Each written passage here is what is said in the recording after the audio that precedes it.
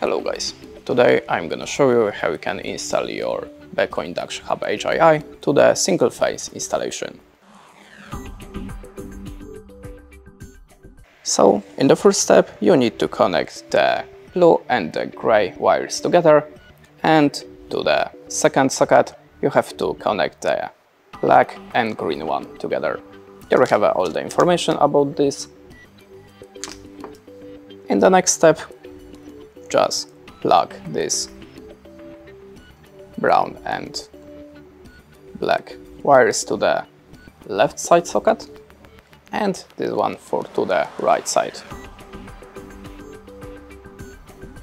You can also connect this one to the middle socket. After that just close your plug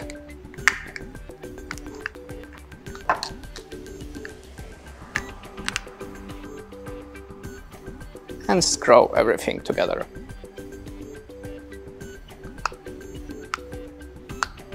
Now I think we can plug into the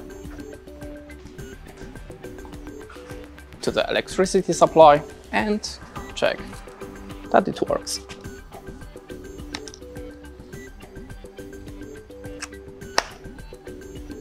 As you can see, it worked perfectly. That's it. Thanks for watching leave us a like or a comment, and goodbye.